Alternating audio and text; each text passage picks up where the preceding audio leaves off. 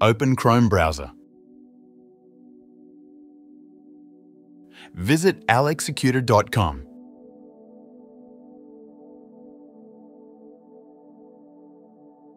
Scroll down and copy the Redz Hub script code.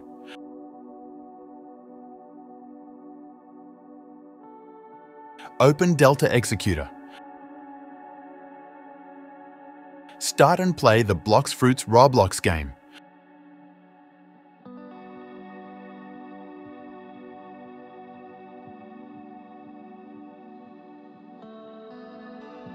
The Delta menu will pop up, click on the Home menu and then click on the Upload button.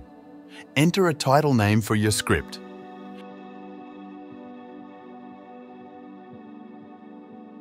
Paste the copied script code into the script box. Click on the Add Script button. The script is now added to the Delta Home menu. Click on the Execute button. The Redz Hub Blox Fruit script menu will pop up. Enjoy!